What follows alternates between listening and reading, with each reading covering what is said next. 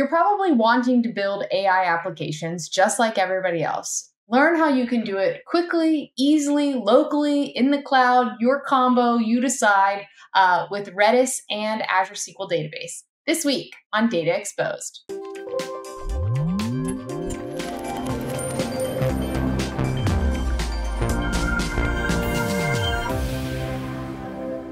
Hi, I'm Anna Hoffman, and welcome to this episode of Data Exposed. Today, we have an exciting episode as we're going to be talking about building AI applications with Redis and SQL Database. And to do that, I have Brian uh, from the SQL team, and I also have Roberto joining us back a year later uh, from Redis as a senior solutions architect. Thanks so both. Thanks so much both for coming on the show. Thanks. Thank awesome. you, Anna. And we're going to go right into it. Uh, Brian, I'd love for you to tell us a little bit about what you're going to tell us about. Great. Um, so let's start with uh, what we're going to do here today. And with that, we'll start with our slides. We have a few slides that we'll go over the architecture with. So let's start with the, the first part of this, and that's what we're doing. And in this we're basically using Redis, uh, the Azure uh, cache for Redis in Azure, to act as a vector database. Uh, AI searches. So what we're going to do, and this is the part one of the demo or part one of this uh, GitHub repository that anyone can try. We're going to extract data from a SQL database into a Jupyter notebook. Once it's in there, we're going to actually send it over to be embedded using Azure OpenAI those embeddings are going to be captured, and then we're going to use that notebook to load these embeddings into the Redis cache. And there, it's going to act as our vector database, uh, and we're going to put an application on top of that that's going to run a whole bunch of similarity searches that we see with a lot of our AI applications using that data from uh, the database. And then after that, uh, we're going to show the UI. And to show the UI, let's pass it over to Roberto and he can uh, jump to the next slide here. And he's going to go over how the application works. Thank you, Brian. Well, here it is, right? Uh, there are different components. We're talking about the application. Application is a uh, React application with a FastAPI backend. Uh, is running on a Docker container. Also, we have the Redis component, Redis cluster, Redis cache. Uh, we're using Azure Cache for Redis Enterprise. We have an Azure function that is gonna run um, every time that we have a, a, SQL trigger, every time there's an update on the uh, Azure SQL database, then it's going to be uh, triggering to um, or update the, the information in the vector database.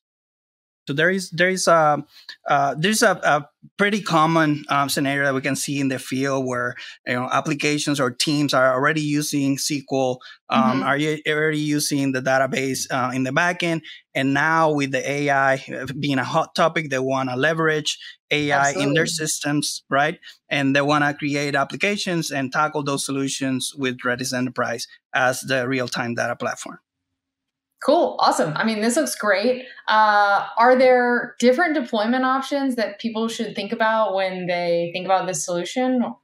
Yeah, absolutely. Let's let's see. Let's go to the uh, VS Code. I'm going to show really quick um, the different different things that they can deploy this and definitely it's very flexible. Um, we have Docker Compose where you can um, deploy Azure Cache for Redis Enterprise on the cloud and pretty much um, this is going to create a container with the application. So you can do that route.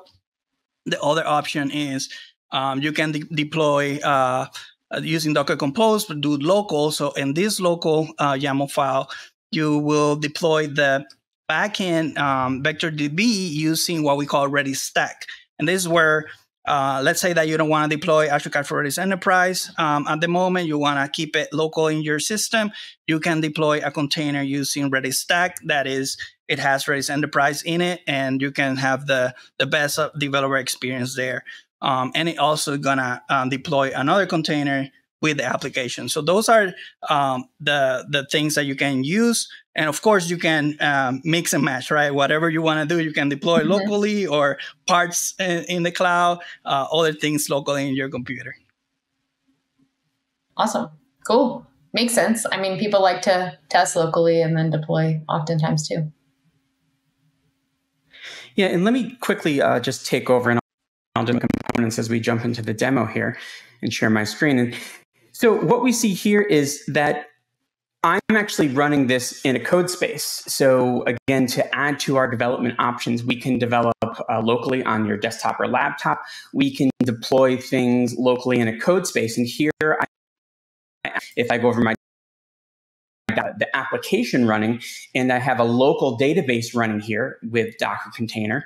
Um, and then I have the Redis cache in Azure SQL, and then I or in Azure, and then I also have um, uh, OpenAI in Azure. So I'm using OpenAI. So you can mix and max all the components, have everything on prem, including the the database and the and the uh, application, or you can push it all to the cloud. Whatever you want. It's really really flexible on what what we have here. So to quickly jump into the demo here before, or show you some pieces before we start this demo here, um, I, as I said, I'm running the database locally, and we can see that here it's running. Um, and I could, you know, show you here's our table, and we're just using a single table on here. But this database is also um, using change tracking. So we have change tracking turned on for this database. And we also have um, an Azure SQL binding trigger function running. And this is running locally on my code space. Now, again, this could also be deployed in Azure, or it could be running locally, either one, or it could be running um, in code spaces that I have here. And what this does is it goes and it, whenever a database update happens to uh, our products table, it'll grab that, it'll call uh, Azure OpenAI to create the embeddings, and then it'll take that data and put it into our Redis vector database for us. So what we can do now is we can jump over back to Roberto. He'll show you the front end and in the back end, show you how that trigger fires, and then we can see the new updated information and some similarity searches our AI applications are doing. Awesome. So let's let's talk about the components, right? What what's going on, right? So I mentioned, you know, in the front end we have a React uh, application, so you will find it um, where you go to GUI. So here you will find all the code um, that it's about the React, the front end, the UI, the button. Um, once you click that um, the text or or you're gonna do the search on the text field is it calls the API. The API is a FastAPI, and the important things I'm gonna mention two things: the routes pie. Here's where your requests is get uh, redirected, right? And um, one of the things is that we do is we're gonna search for the product ID for that product ID that you are clicking. You get the vector, and once you get the vector that is in the hash, then we're gonna send it to do a query on comparing, okay, give me the vector of, of that product you, you want to search versus okay what is similar against all the vectors in the in the database right? And then bring the results over to you. So those are the the the two important things is the routes and then the query pie where the search happens. It's a KNN uh, vector um, that happens in um, Redis Enterprise, and it's very very nice. Uh, you can do uh, vector search, you can do um, semantic search, you can do RAG uh, solutions with Redis Enterprise. Uh, that's why it's the real time data platform. Cool. Can we uh, can we see it in action? Right, you want to share that? oh, yeah, I can. I can show the demo. All right, all right. So here's our demo right here, and we have um, some information. We have some, we can do a search by text or we can do a search by image. So if I do say do a search by image on this black shirt, as expected, I should get other black shirts that are similar that have similar designs. If I do uh, by text, it's going to do a text search and it's going to find things that are similar to this text search. Um, so it's matching words, it's matching type of words. So for this demo, what we're going to do is we're going to actually use those vectors. We're going to use that similarity search. And instead of having, we're going to take one of the items, which is a Puma Men Ferrari track black t-shirt, and we're going to use that vector search and do Panther Male Ducati track black t-shirt. So Panther is somewhat related to Puma, so the vector should match up there, uh, male and men. And then Ducati is a racing brand, same as Ferrari, as we know. So what we're going to do is we're going to update the database with this, and we're going to run this here. And here we see our trigger, our SQL binding trigger function fired embedded it using the OpenAI and Azure SQL uh, in Azure, and then pass it and put it into Redis. So if I go back over here to our demo and just do a reload here, and I do a text search on here, we should see that here it is. It's come up. Um, in our search and we have a 0.79 uh, similarity score.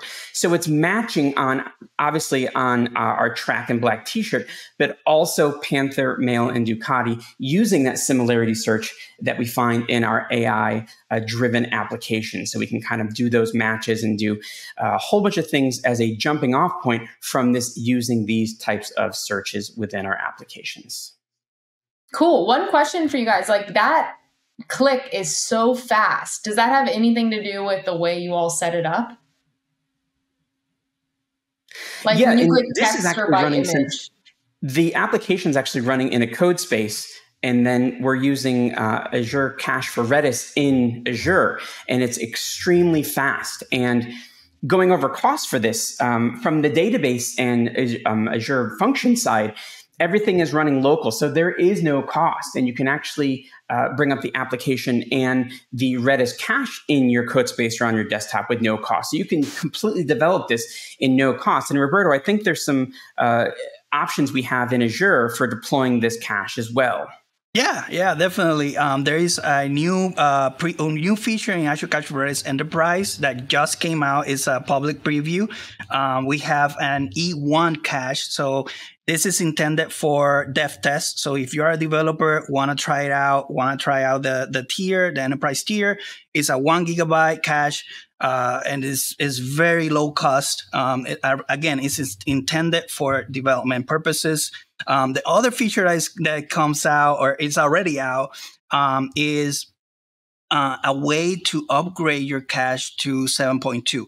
So that's something that um, a lot of the, the community have received questions about it.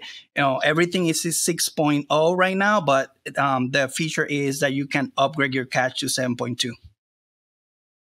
Awesome. Cool. Um, folks, I learned a lot. This was really cool. I'm going to go try out the sample. I'm assuming all this stuff is on GitHub. So we'll put all the links for folks to go try this out and links to learn more in the description. Any final tips, tricks, words of advice you guys want to share before we close? Anything, Roberto? I'll pass it off to you first. Go ahead and try it out. Um, I think that's uh, that's gonna be the best thing. Uh, if you have questions, just you know submit an email. Um, give it give it give it uh, comments. You know, subscribe, whatever you want to do, but uh, let us know. Yeah, subscribe and like.